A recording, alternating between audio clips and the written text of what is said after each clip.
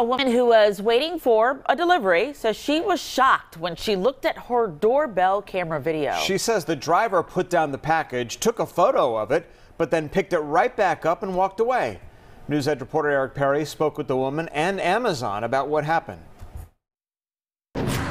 We've blurred the photo of the Amazon worker pending the outcome of the investigation, but that video appears to show the worker taking a photo on the phone, which makes it seem like the package is delivered, then takes off with the package. Ashleigh Clark's doorbell camera captured what appears to be an Amazon delivery driver making a delivery, snapping a photo to show it's there, then taking off with the package. Clark said this happened Friday and she didn't go to the door to greet the worker because her family was quarantining.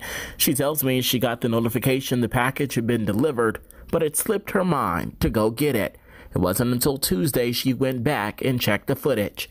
It was clear as day on there, and it just kind of blew my mind that how brazen it was for her to drop the package, take the picture, mark it as delivered. I actually got the Amazon notification on the app and then she picked it back up and walked away with it. Inside the package was a necessity for her son, who was gearing up to return to school. My son and I had been looking for masks and for little lanyards for him to wear his mask to school to stay safe.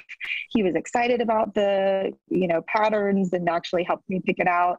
Clark reached out to Amazon and they gave her a refund for the items, but it's more than that. I really don't want that woman delivering packages to my house again and don't feel like um, she should be able to provide services through Amazon because unfortunately, um, you know, she, she did steal. Clark says she's grateful for the footage or else she would have never have known what happened. If she has the package, we would love to have it back. I can't reorder the same masks and the lanyards from Amazon because that seller is not providing them anymore. And I reached out personally to Amazon officials. They tell me they are investigating. I even sent them a copy of the video. This family tells me they want an apology from that worker. Eric Perry, Fox 5 News.